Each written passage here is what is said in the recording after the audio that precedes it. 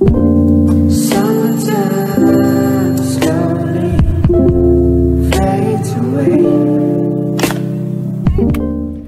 welcome back to our channel. You guys already know why we're here. We're in the car, we're on our way to the store. We're gonna make a PB&J from scratch today. And we're gonna try to do it pretty quick. Let's go, let's go. So things we have to get, peanuts, instant yeast, and maybe some lemon juice. Okay, we made it home. Now we're baking the bread. So our yeast is currently in this little bowl. It's getting activated for five minutes. And we're gonna add the rest of this water and some other ingredients. Our sous chef today is Deegan. Say hi. Say hi.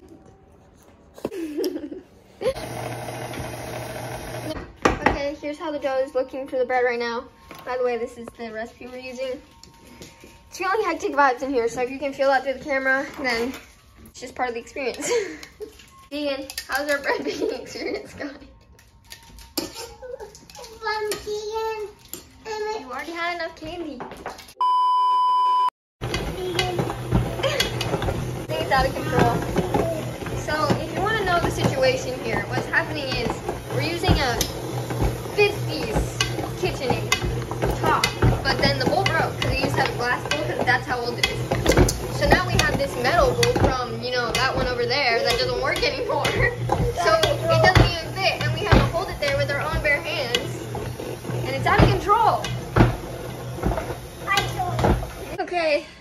we got it in a little bit of control.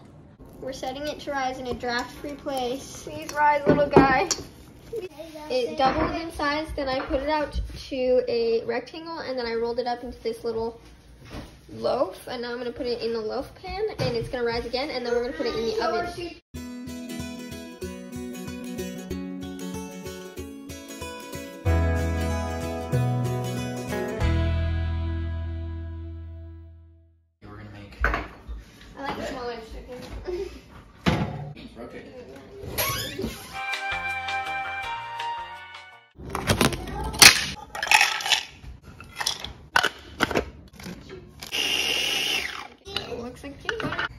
Now we have this delicious creamy peanut butter that we're gonna pop in the fridge for a little bit while we make the jelly. Okay, we got the strawberries. Time to make some jam. Bubbling, bubbling, turns jelly. Hey. Hey, more.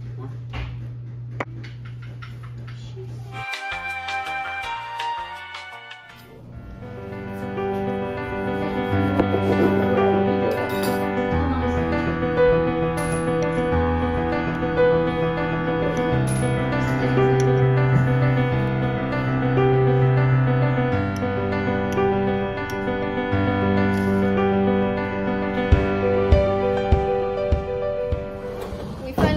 our homemade PB&J. Sorry if I'm looking a bit disheveled. It's been a hard couple of days, long. Just But been now hard. finally. now we finally get to make our PB&J. Got two homemade slices of bread, lightly toasted. Our PB&J consistency and taste jam.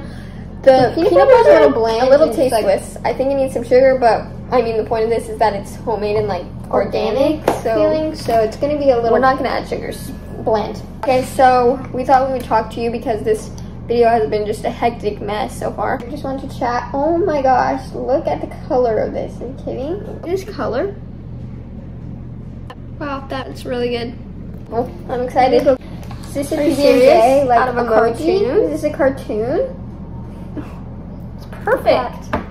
It's perfect, perfect, perfect. Oh. I know.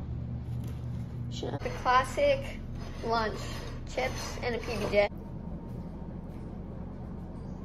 Bon appetit. Ching. Ching. The peanut butter actually complements the jelly really well. Hmm. It all complements really well as like an organic sandwich. The bread is getting dense, but the textures are definitely different than a classic PB&J. Not oh. bad, they're just different. They're just organic. All natural. This is definitely probably a healthier alternative.